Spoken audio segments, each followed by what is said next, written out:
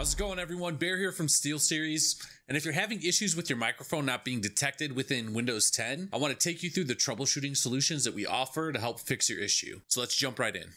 The first and easiest step is going to be to uninstall and reinstall GG to make sure nothing was corrupted during your previous download. So to uninstall it, go ahead and go to your search bar on your PC and type in add or remove programs. Scroll down till you see SteelSeries GG, click it, and then select uninstall. Then go ahead and go back to the SteelSeries website and re-download GG. If you still have the same issue, then try using a different USB slot on your PC. Especially if you're using a USB hub, we do suggest plugging the headset directly into your PC instead.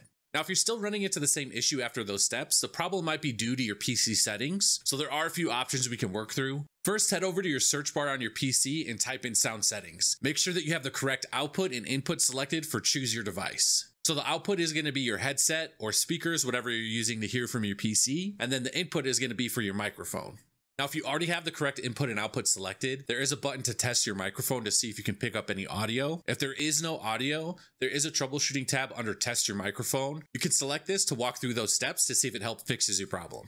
Now, say this doesn't work for you, we need to make sure that your mic's privacy settings are set up properly. Go ahead and head back over to the search bar on your PC and type in privacy settings. Select that and then choose microphone on the left hand side. The first thing we want to check is to make sure that you have allow apps to access your microphone turned on. Now, if this was previously turned off, most likely that's what your issue was. You should be able to scroll down and select all of the apps that you want to use your mic with. Also, you're going to want to make sure that you have allow desktop apps to use your mic turned on as well. This is going to be for apps like Discord, GG, whatever else you might have downloaded separately. Now, say this process still doesn't help you with your mic not being detected. There is one more step we can go through, and that's to make sure that your sound levels are set to 100. Windows 10 is kind of notorious for changing your sound settings, especially after an update. So to make sure that wasn't changed on you, go ahead and go back to your search bar and type in control panel. Once you have that open, under categories, select either large or small icons and then select sound.